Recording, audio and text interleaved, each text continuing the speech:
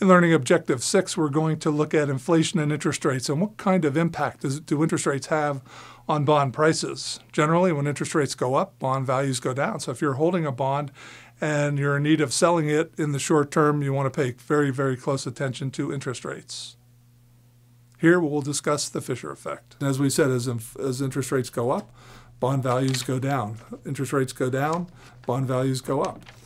Um, so let's look at uh, the impact of inflation and interest rates and the components of uh, uh what we call a nominal return or a total return. Uh, Dr. Irving Fisher, noted economist, postulated that total return, all these little r's we've been seeing and all these formulae, uh, are composed of two rates a real rate and an inflation component. So, real rate is interest rates that are adjusted for inflation, and nominal rates are total rates. I like to call big R total rate of return, comprised of a real component, little r, and an H inflation component. So real rates are a percentage change in what you can buy with your dollars, and nominal rates percentage change in the number of dollars you have uh, in your possession. Dr. Fisher said 1 plus big R, 1 plus nominal rate of return, or total return is equal to 1 plus little r times 1 plus little h. And we can approximate this by multiplying all of that out.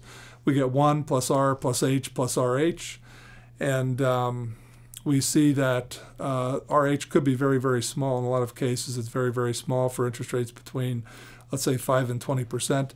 And so the approximate Fisher effect to get an approximation of total return or nominal return, big R equals little r plus little h. Let's look at an example of this Fisher effect and how it could impact you.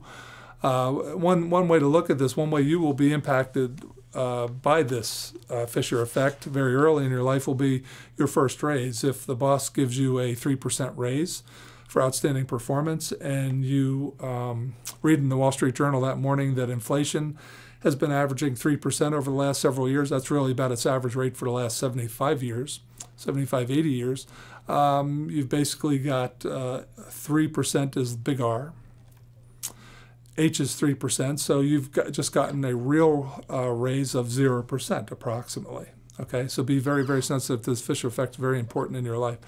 Investors require a 10% real rate of return in this example. Uh, inflation is 8%. What is the exact nominal or total rate? So we're, again, we're looking for big R. You've been given a a real component, little r, you've been given a, a H of 8%, so add them together.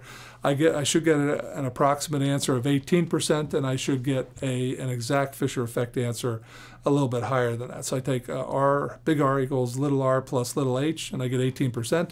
And if I take uh, the exact Fisher effect, I plug in the mathematics, I get 18.8%.